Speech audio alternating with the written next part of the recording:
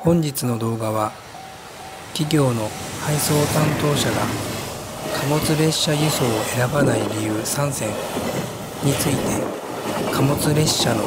通過動画とともにお伝えしていきたいと思います。こんにちは。マクシン鉄道チャンネルです。このチャンネルでは神奈川県東京都を中心に貨物列車貨物駅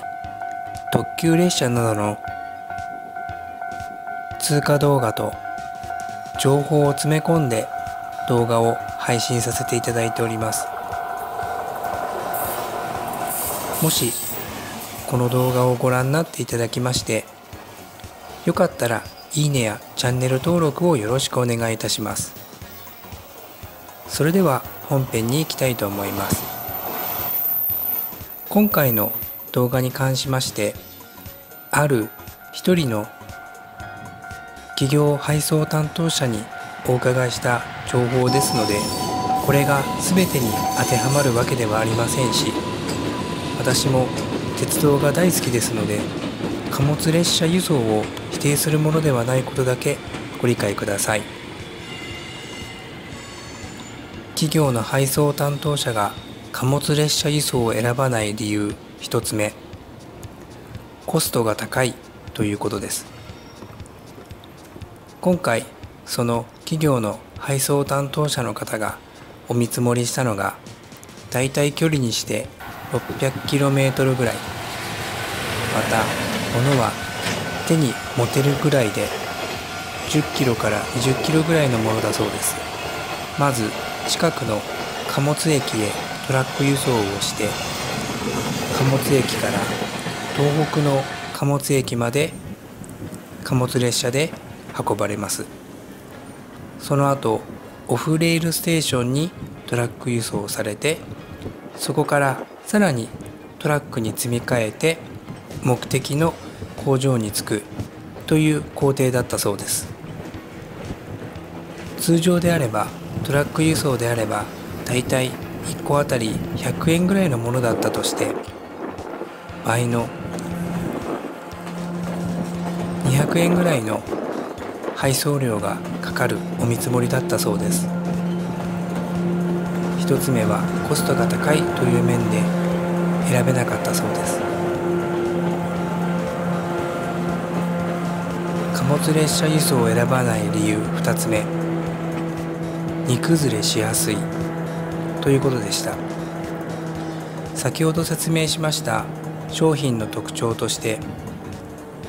手に持てるぐらいの荷物ですのでパレットに何段か積んで配送されるそうです。貨物列車の揺れですとか線路の揺れ等でどうしても荷崩れしてしまうケースがあるようです。トラック輸送であれば荷崩れしないということで貨物列車を選んでしまうと少し後で手間になってしまうので選ばないという理由がありました。貨物列車輸送を選ばない理由3つ目。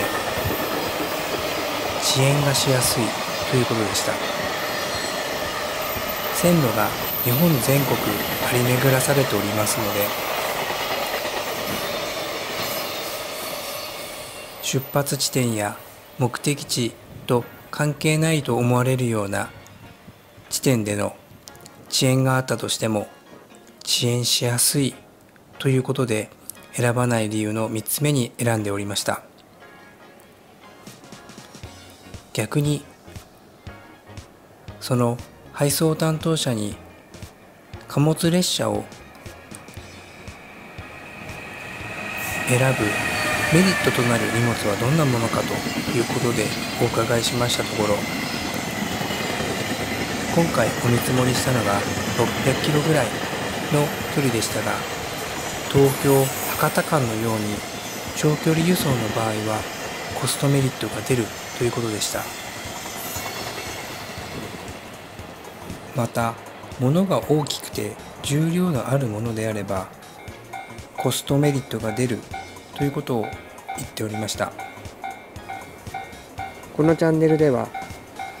神奈川県東京都を中心に貨物駅特急列車貨物列車新幹線などの動画を情報とともにお伝えさせていただいております。もしこの動画を気に入っていただきましたらいいねやチャンネル登録をよろしくお願いいたします。まだ動画は続きますので是非最後までご覧になっていただければと思います。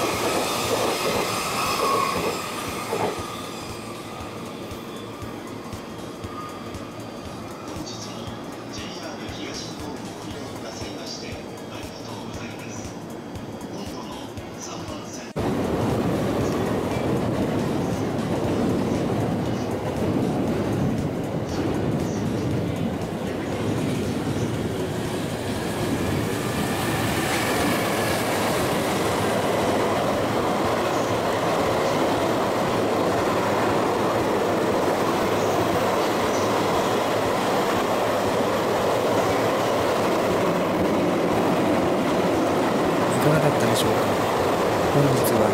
企業の配送担当者が貨物列車輸送を選ばない理由3選についてお伺いしました。今回話を聞きました。企業担当者はある商品のごく一つの見積もりに対しての意見でございますのでこれが必ずしも当てはまるというわけではありません。また私も鉄道が大好きですので貨物列車賛成派でございます。今回は選ばない理由をお伝えさせていただきましたが貨物列車に対してのメリットもたくさんあると思いますのでただこれは一例として参考にしていただければと思っております。このチャンネルでは神奈川県東京都を中心に貨物列車特急列車新幹線などの動画とともに情報を詰め込んでお伝えさせていただいております。この動画をご覧になっていただきましてよかったらいいねやチャンネル登録をよろしくお願いいたします。本日は最後までご視聴くださいましてありがとうございました。また次の動画でお会いできればと思います。ありがとうございました。失礼いたします。